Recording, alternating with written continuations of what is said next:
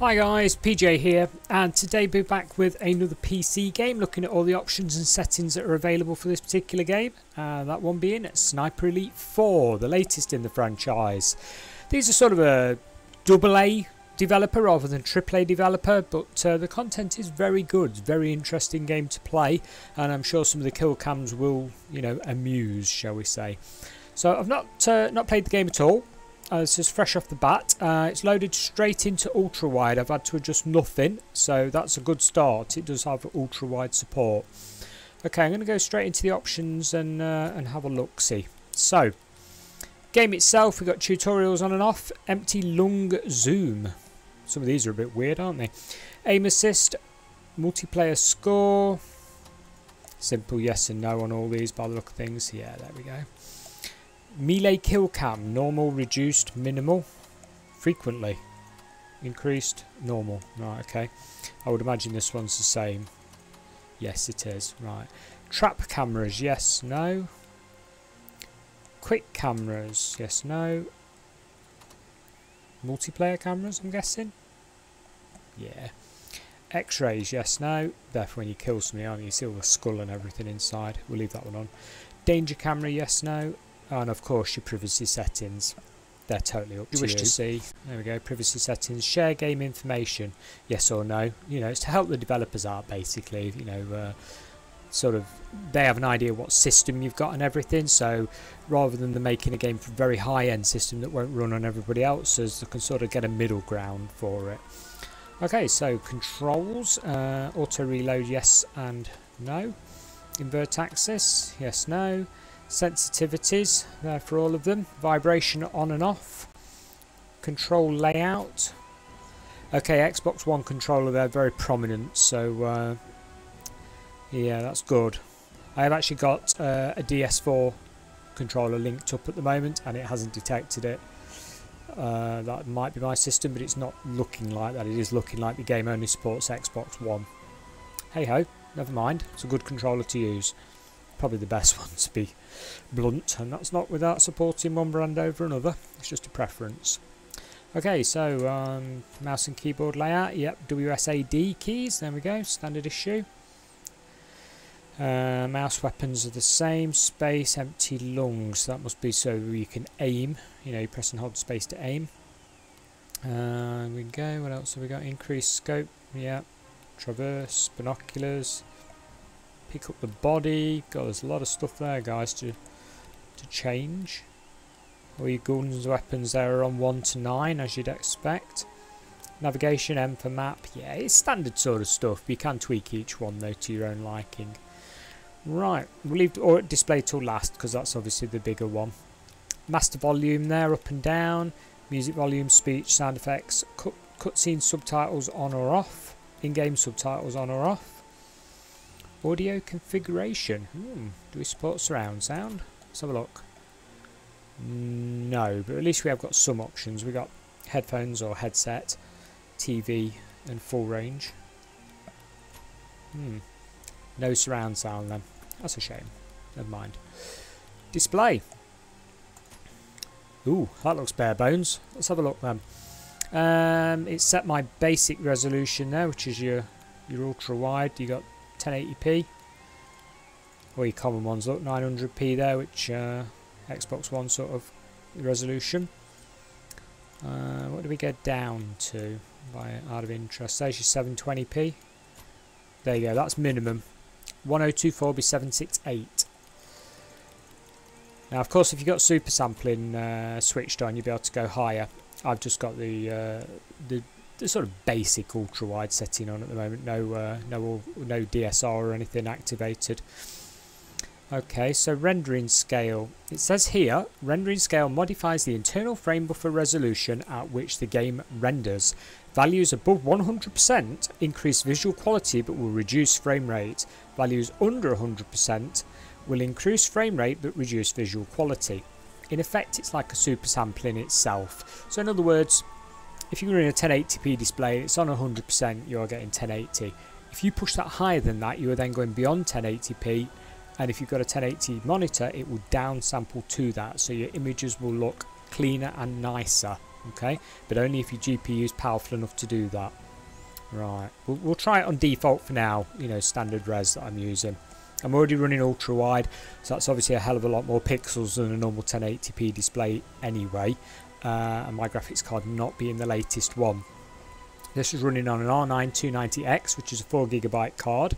Uh, that's got a clock of 1250 and it's got a memory clock of 1000 okay?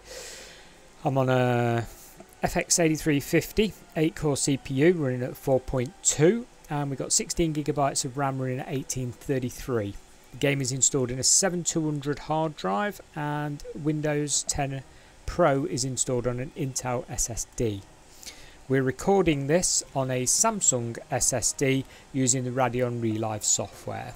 So we shouldn't really have any any bottlenecks as such. But then again we're not talking you know three two two three thousand pound system you know it's uh, it's more realistic without blowing the bank. Graphics detail. So we're on medium high ultra. Okay it was set to medium but I'll start high. We'll go on we'll go on ultra yeah? Customized graphics detail. Yes let's. What we got then? Texture detail. Ultra medium yeah. These are all going to be the same aren't they? Yes they are. Just go through every single one. High off. High being the top one. Draw distance. Ultra yeah. Anisotropic filtering. 16 is going to be your highest for that interesting that that doesn't go in groups of two or four it's one at a time motion blur on and off ambient occlusion on and off tessellation on and off obscure fields hmm not heard that one before. I'll have to have a look what that does. So go back. Uh, advanced options. VSync. Yes or no? Mine needs to be left to no because I've got a FreeSync monitor. Absolutely no point in switching it on. All it would do is hinder my frame rate. So, uh, you know, if your monitor supports more than 60 hertz, which a lot do, mine does, for example, you you know you can you can run the higher one. Uh, use async compute, yes, because I'm running the DX12 version of this game, or your AMD cards from sort of, well, really old ones like 79, 80 and above sort of thing support uh, async compute. Um, that's it. That's all you. Oh, okay. Let's go back and load the game and see what it looks like. Okay. So we'll go single player, um, new campaign. Uh, we're just testing it out. We'll go, nah, we can't get that bad, can we? Good God. Let's go, go normal. Weapons. Okay. Preset Alpha. Bravo, Charlie, they're all the same. How do you change that then? Maybe we have to earn them in game. Anyway, let's see what the game looks like. it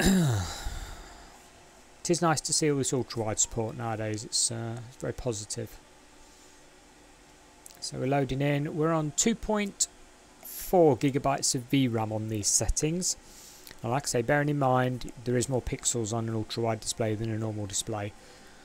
Um, normal memory, is about nine and a half gig. Can we skip? Yes, we can skip. We like skipping. Skip again. Okay, we're in. Uh, currently running at 83 frames per second. Bit of a drop there as it loads assets. We're down to 60 frames per second roughly. Bearing in mind this is maxed out though on the ultra wide display so you know you've got more pixels there going on. Yeah, easy enough. VRAM, we're on 3.1 gigabytes of VRAM currently and 10 uh, gigabytes of RAM. Reckon I could take this fellow down without making a noise. Nice. You're dead, mate. Anyway. Use binoculars. Use my binoculars to check it out. Okay.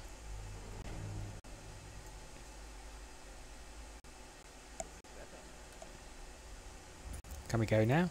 No, we can't. It wants us to do something. Tag the enemy and the glowing pulley. Alright, where's the enemy? Oh, there he is. Right. Now we can probably shoot. I don't want to use the binoculars. Now what? Oh, there's another one. Not. Should pay attention really. We're going to try medium uh, settings after this and see how it drops.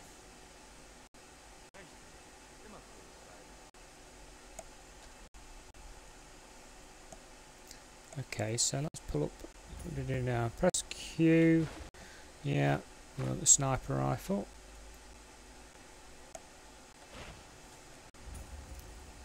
Okay, we've got to shoot this and drop it on their edge, yeah?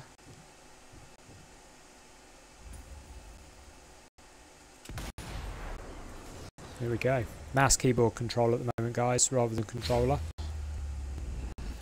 Oh, that looks heavy. Yeah, they're. Nicely does it. So there we go. Um, lowest I've seen at the moment is 53 frames per second. Ooh. No, I don't do that. Hold on. Let's get over here and then we'll switch it over to medium settings. So nice and fast. Right. On to medium. Options, display, graphics detail, medium. Back. Resume.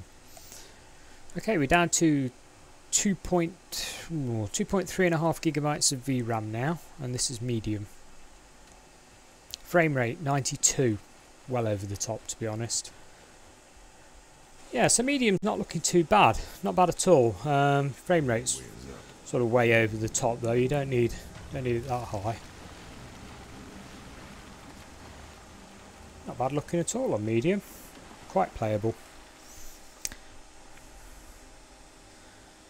Okay, so let's see if we can get it under 2 gigabytes of VRAM for everybody that's got a 2 gigabyte card, yeah? I've got a boat down there. It's handy. Right, let's go. Options, display, and we'll go, oops, go down to low, yeah? Anything other than that, I'll have to start dropping the res down. I'd rather not do that. I always like to try and keep native res above sort of anything else. Right, load it in, there we go. Quick loading. Right, we're up to 100 and 103, 104 frames per second. Ground textures seems to have taken quite a hit this time. Um, what are we on? 2.2 gigabytes of VRAM. No, there's not much in it between medium and low on the VRAM. It's just, uh, it looks a bit rough. 110 frames a second. Yeah. So let's drop it down to, what's going to do res wise? Let's have a look. Display. I'm going to have to go right down to, so let's go down to Xbox One resolution, yeah? And resume. Well, that didn't work. Maybe it's my display locking it. Uh, options. Display. Oh yeah. you do have to click apply, don't you? Oh, dear me. Missed that one, guys. Right, so this is Xbox One resolution. Uh, however, Xbox One does run medium and high settings. It does not run low. No, we're still at 2.174 uh, megabytes of VRAM, so um, you're not going to get this under 2 easily. If We go down to... We're searching those bodies for ammo. Uh, okay, we'll go all the way down just to see what we can get it down to. This quickly. All the way down. 1024 with 768. Apply. Yes. Back. Resume. Okay, we're on 114 frames per second, I think I saw that. And there you go, 2 gigabytes of VRAM. So it is possible. Just. Only just. 2 gigabytes of VRAM. Done. Because you'll have 2048 megabytes of VRAM if you've got a 2 gigabyte card. So you can play it, guys. Good news all round. Right, let's see if we can push it any higher than we first tried it. You know, max max. Let's see if we can uh, just go a bit higher. Let's See if we can get it. I might activate the uh, DSR downsampling and what have you. If it will, put it back all the way to lowest widescreen and then go all the way back up to ultra.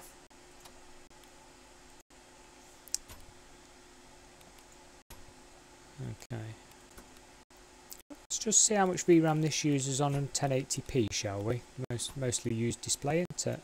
Let's go to that. Apply. Yes. And back. Resume. Okay, 1080p display, normal display there.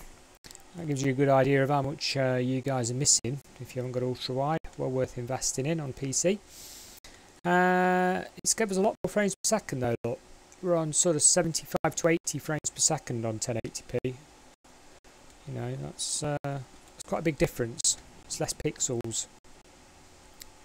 Does look noticeably nice now, doesn't it? 3.25 gigabytes of VRAM.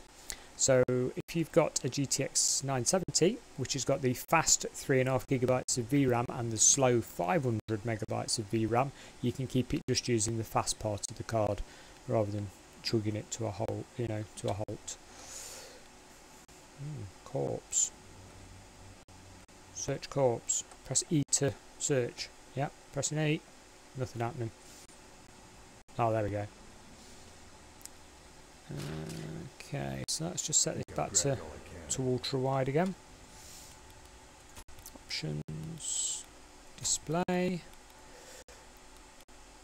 We'll have a quick go of uh, downsampling it.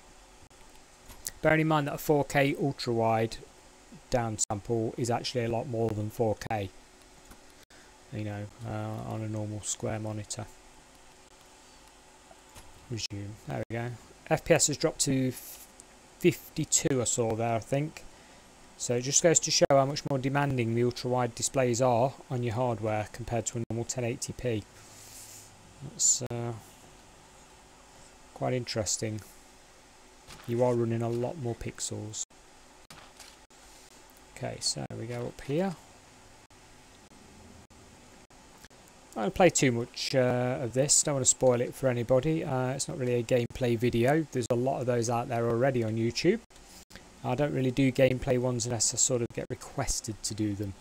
So if you do want to see this played, fair enough. But otherwise, this is more, more sort of delving into your settings and stuff. Let's go up here, see what's up here. I'm harder to see in foliage and in shadow. Okay.